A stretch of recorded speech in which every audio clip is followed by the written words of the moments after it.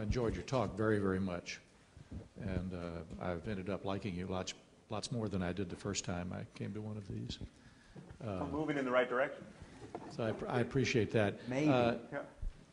Right. I was struck by uh, your uh, part of the conversation about politicians and the impossibility of getting elected without professing some kinds of, bel- kind of belief. Uh-huh. And I find myself kind of in a dilemma. Um, I saw an interview with the Democratic nominee a while back uh, where he suggests, he said that every day he talked to Christ, prayed to Christ, Right. and sometimes he heard an answer, and sometimes it was faint. And so I, I have the dilemma. I either take him at his word, or uh, I have to think, how cynical could you be to profess such a thing? And, and that would bother me. So I'm kind of in the middle and thinking, well, maybe he does believe part of that. How, how do you react to what we hear from politicians talking this way?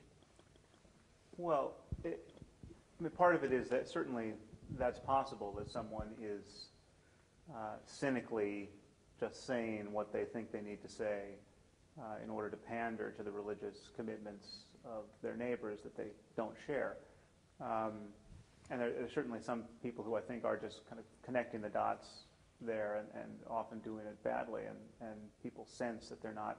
I think, ironically, I think McCain is probably doing that more than anyone in this election. Um, I think he's probably the least honest in, in espousing his, his uh, religious commitment. Um, but I think the deeper problem is that we just, you know, we never push on those uh, utterances when normal people, psychologically healthy people, talk about talking to God. Right? People, you know, people are just thinking, you know, and they think that they get this, you know, warm glow in certain contexts, and they associate it with uh, uh, some religious truth. And we've never, um, we've never demanded any kind of sophistication in how people know, talk about the flow of their own experience, and we never, uh, we never recoil when people make uh, obviously unsupported claims about the veracity of religious belief using data of that sort. You know, I mean, people say, you know, I, I just felt this, you know, I just felt the grace of Jesus. Um, you know, I was praying, I just felt God's grace. What exactly do you mean? You know, I mean, it, it, let's talk about oxytocin. Let's talk about the, the Muslim who is sitting beside you who is feeling different grace. I mean, let's talk. You know, let's come at this from from many sides. Uh, there's there's got to be a, a we just all of that gets a pass. You know, people can just talk, and you, worse still, I don't know if you saw the Compassion Forum with Obama and Hillary Clinton, but this was this this was the uh, meeting that uh, was organized by Jon Meacham of Newsweek, um, where they were just you know asked questions like, "Do you uh, experience the Holy Spirit?" You know, and, and Hillary Clinton was led to say in that context that you know the, the, the tear she shed in a New Hampshire diner was evidence of the Holy Spirit. Uh, I mean, and, and, received no opposition from anybody. I mean, this was just, you know, like what kind of epistemology do we have where Hillary Clinton can get away with that? Um, so I, that's a situation we're in. It, it, it's a complete vacuum of critical intelligence when, pe- when, when the conversation turns to, to God talk.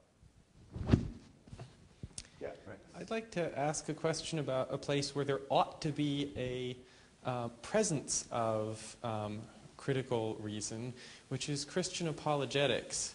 So there's a long Catholic tradition and a um, shorter uh, Protestant tradition um, of Christian apologetics, and I'm I'm wondering what your views are on that, um, and I assume you think that they've gone badly awry. And how did they manage to do it when supposedly they were using reason to um, underpin their faith? Well, it's, the problem is just are you going to hold certain claims off the table when you start playing the reason game? And uh, it seems to me that most Christians, who, you know, many very smart, intellectually sophisticated Christians, you know, from Aquinas on down, can play a, a a language game uh, that is uh, certainly attempts to be self-consistent and has all of the features of, of rational discourse that we admire, but it's in the context of we're going to take as axiomatic the fact that the, the, the, Bible was the sacred word of the creator of the universe. So how do we square you know, the evidence of uh, paleontology and all the rest with the fact that the Bible is the Word of God and Jesus is His Son and rose from the dead on the third day. That's the, that's the game that most Christians are playing.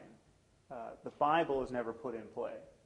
You know, we, we, we, never, we never see Christians looking, I mean, they, we don't see this because they, cease, they tend to cease to be Christians if they actually do this. They, we never see them looking at the fossil record and at, at um, the wealth of evidence of, of um, for evolution coming from molecular biology and, and uh, um, the distribution of, of uh, animals uh, across the Earth's surface. We, they never look at those facts and then come back to the Bible and say, well, what's given that this is the way the world is? What's the likelihood that an omniscient being described it this way?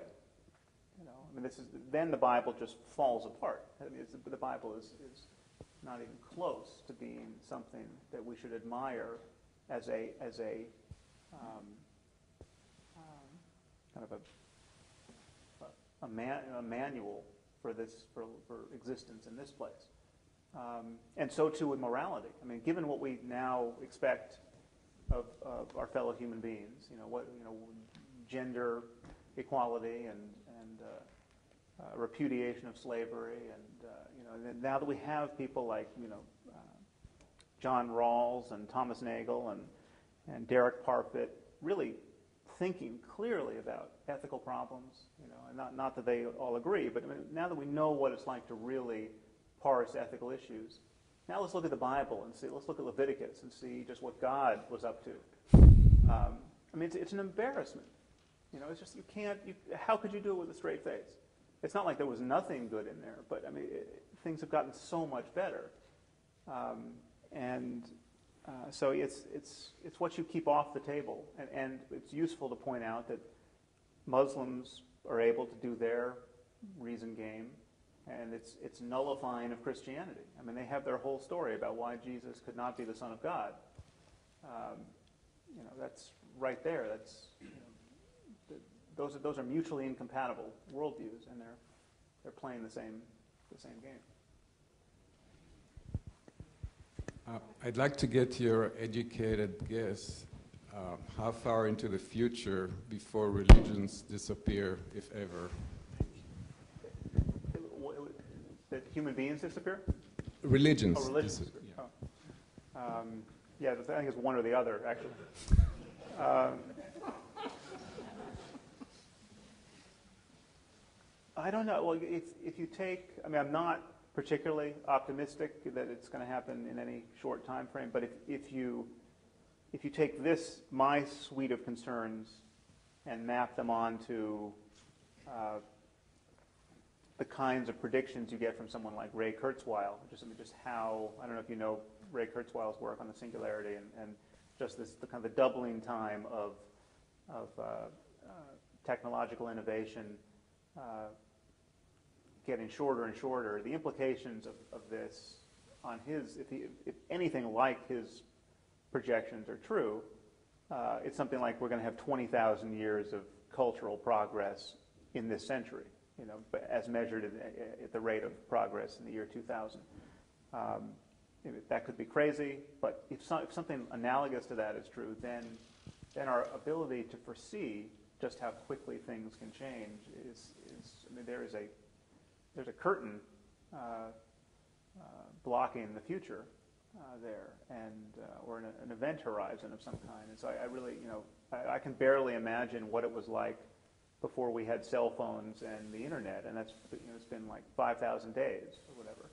Um, uh, so it's uh, it seems to me things could change very very quickly, uh, but still embedded as I am in the present and seeing how intractable these belief systems seem to be in the present. I'm, I can not say I'm hopeful that it's going to happen in any of our lifetime. John.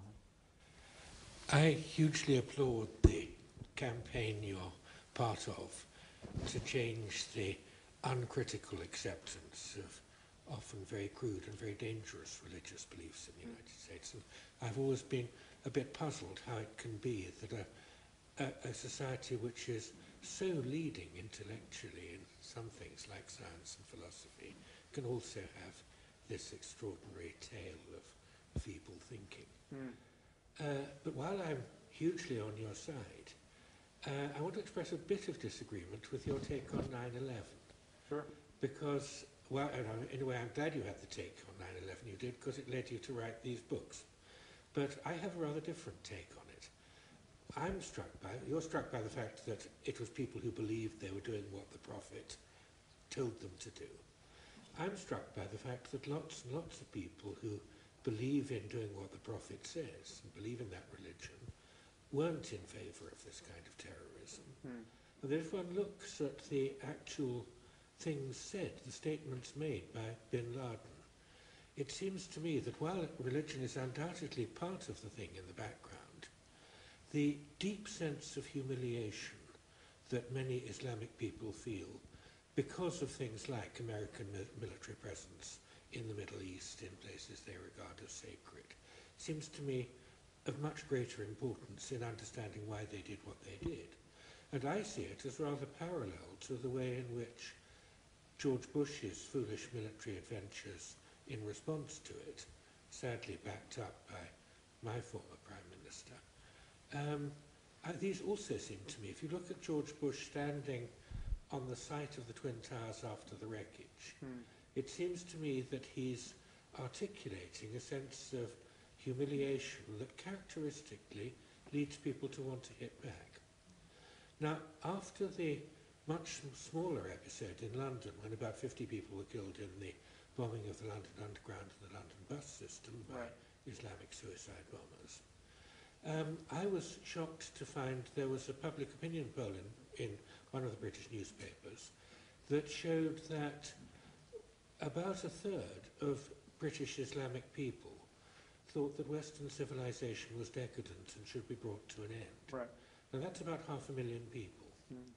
Now, my response was to write an article in The Guardian saying, a society where people are so deeply divided to this degree, we should start talking to each other and we need a kind of Socratic dialogue between Right. Western values and Islamic values.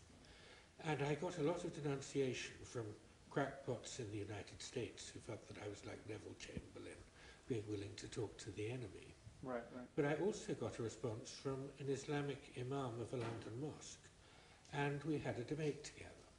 And we discussed what it was that we Westerners worry about or offended by in Islam. I talked about the position of gays, the position of women. He talked about what he saw as moral decadence of various kinds, the mm. toleration of crime.